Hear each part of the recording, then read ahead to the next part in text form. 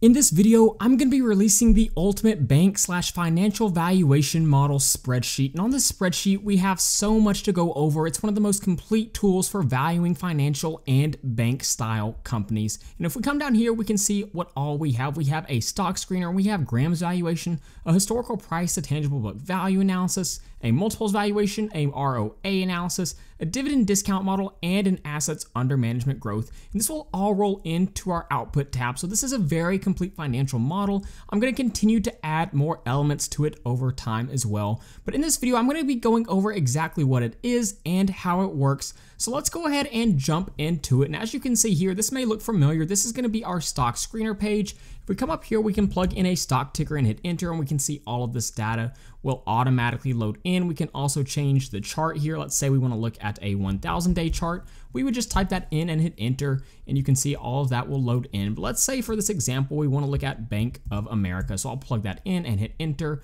And again, all this data will load in. We have some business metrics. We have our dividend data. We have moving averages and then a lot of other relevant information right here our one year return and our two year return. And of course, we have our current trading price. So there's a lot of great information here on our stock screener, but the end goal of this spreadsheet is to find a fair value for this company. So let's go ahead and jump over to our first valuation. You can see we have Graham's valuation. This is a valuation model invented by Benjamin Graham. And here's the formula he lays out for us to calculate intrinsic value. If you've watched the channel before, you probably already know how this works, but essentially we're just gonna pull in a lot of these variables and plug it into our spreadsheet. A lot of this data is automatically pulled in right here, as you can see. So really, we just need to plug in our growth rate projections and the current yield on AAA corporate bonds. For growth rate projections, I suggest looking at multiple sources, maybe Seeking Alpha, Yahoo Finance, any other sources you use for investing. And then you can also look up the current yield on AAA corporate bonds and plug that in.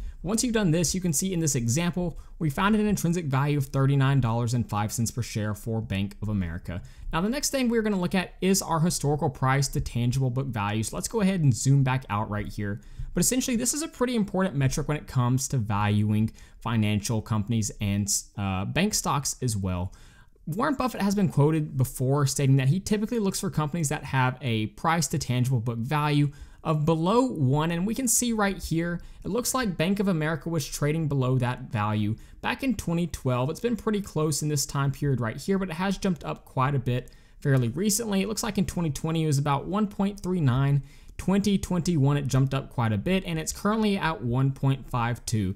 Now I'm going to show you where I pull this data from. Essentially what you're going to do is you're going to plug in the share price here and the tangible book value here and all this other data will automatically load in. We'll also want to plug it in for our current data as well. But if we go over to Seeking Alpha, we can find price to tangible book value. Let's see if we can go to our financials. We should be able to find it on the balance sheet. And once this loads in, we'll scroll down and let's see, where is this? So tangible book value per share. So essentially what we can do is we can copy this data over right here. And if we jump back, let's go ahead and fix that. We'll copy this line of data right here. We can jump back over to our spreadsheet and we would plug this in right here. And we'd also want to plug in the current value right here. And if we also go to Yahoo Finance, what we can do is if we go to historical data and we go to historical prices, we go to the max amount of time, and we look at monthly prices. Basically, what we're going to do is we're going to plug in what the share price was in December of 2022 and December of 2021, and dating all the way back to however much data we pulled from. So you can see that's essentially what I did right here, and I also did it for the current trading price. But essentially what that does is that's going to give us our price to tangible book value, and this data right here is what's charted out in this chart right here. And then we also have the current value coming from this data right here. So essentially you can just kind of analyze where it's been historically. You can look at what it's currently at.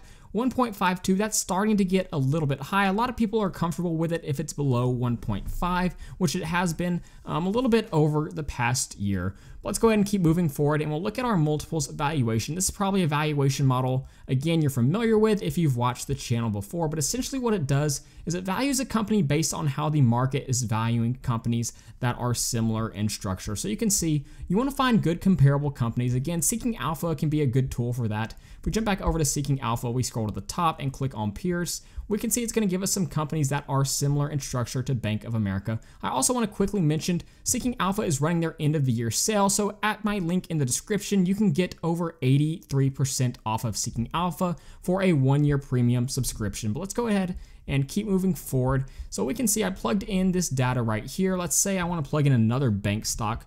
Let's just remove this. Once I plug this in, you can see all that data automatically loads in. We then take the average price to earnings multiple. We multiply it by Bank of America's earnings per share, and you can see that's going to give us our intrinsic value according to our multiples valuation. Now, one of the things you might find every now and then with this valuation is that one company is trading at a way higher price to earnings multiple than their peers.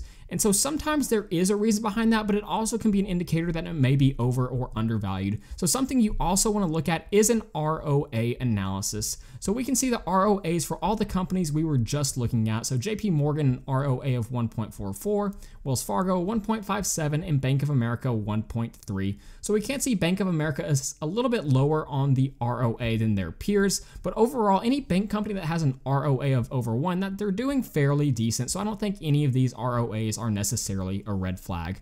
Now moving forward, we have our dividend discount model. Essentially what you're gonna do is you're gonna wanna plug in the historical quarterly dividend payments for whatever company you're looking at. You can do that at Yahoo Finance or Seeking Alpha. And then it's gonna give you the yearly dividend payments automatically, which will allow us to see our year over year growth rates as we can see right here. It also gives us an average growth rate over that time period. So after doing some more research into the company, things you're gonna wanna also look at is our payout ratio. Make sure it's a nice safe payout ratio. You're gonna wanna look at potentially growing assets under management and growing revenues. But once you've done all that, you want to project a growth rate to the future dividends for this company. And you can see, just as an example, I'm just using um, we can say it's 6.5% growth rate and a discount rate of 8.5%. If you're interested in how to calculate discount rate, you can watch some of the videos on my channel. But once you plugged all this in, we come to a dividend discount model price per share of $46.86. Now, the last thing that I do want to look at in this valuation model is assets under management. I think for any financial type of company, this is definitely something you are going to want to look at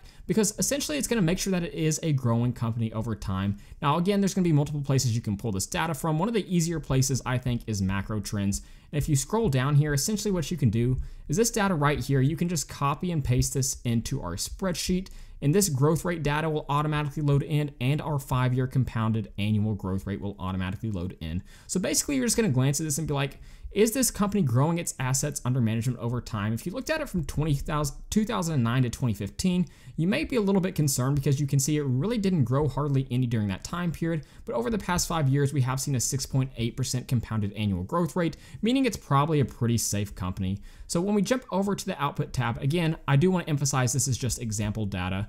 But on our output tab, you can see our three valuations that we used right here, and then our two other valuations that don't necessarily provide an intrinsic value, but I think it's important to take into consideration. But this intrinsic value is gonna give us the average of these three valuations here.